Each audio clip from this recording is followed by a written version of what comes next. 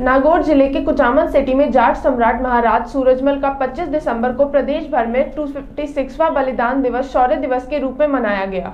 इसी के तहत कुचामन शहर में भी सर्व समाज द्वारा शहर के सीकर रोड स्थित लक्ष्मी मार्केट में महाराज सूरजमल के बलिदान दिवस पर उनकी प्रतिमा के समक्ष माला अर्पण व पुष्प अर्पित कर सर्व समाज के सैकड़ों गणमान्य नागरिकों ने उनका बलिदान को याद किया। महाराजा सूरजमल जी राजस्थान के भरतपुर के हिंदू जाट शासक थे। उनका शासन जिन क्षेत्रों में था, वर्तमान समय में, वह उत्तर प्रदेश के आगरा, अलीगढ़, इटावा, हरियाणा, राजस्थान के भरतपुर, धौलपुर, मेवाड़, रेवाड़ी जिलों से ही था। उनका जन्म फरवरी सत्रह ईस्वी के अंदर भरतपुर में हुआ था। उनके पिता बदन सिंह जी और उनकी माता रानी देवकी जी थी। महाराजा सूरजमल ऐसे व्यक्तित्व के धनी थे जिनको मुगल शासकों ने और अन्य कई जो भारत के ऊपर जिन्होंने कई बाहरी जो आक्रमण किया लेकिन महाराजा सूरजमल जी को आज तक कोई पराजित नहीं कर पाया।